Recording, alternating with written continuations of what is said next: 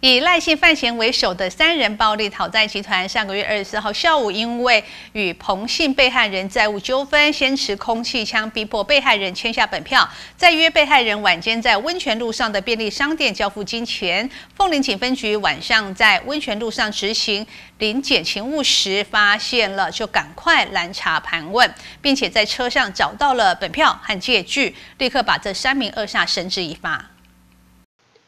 凤林分局侦查队侦讯后，将以暴力胁迫讨债的三名恶煞移送地检署侦办。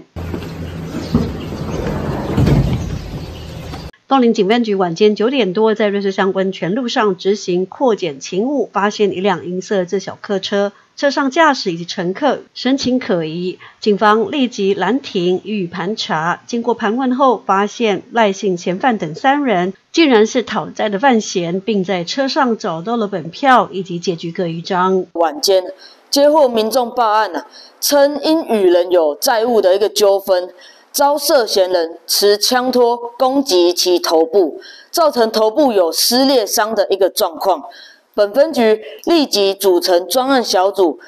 立即前往现场交付现金的现场前后部署警力。见涉嫌人出现于现场之际哦，见时机成熟，立即上前围捕。现场共查获涉嫌人共四人，并查获起初作案的空气枪一支及本票等相关证物。警方在调查后突破赖姓嫌犯等三人的新房，并循线查获作案用的空气枪一把。于讯后，将赖姓嫌犯等三人以违反刑法、恐吓取财、妨害自由以及伤害罪嫌移送花莲地检署侦办。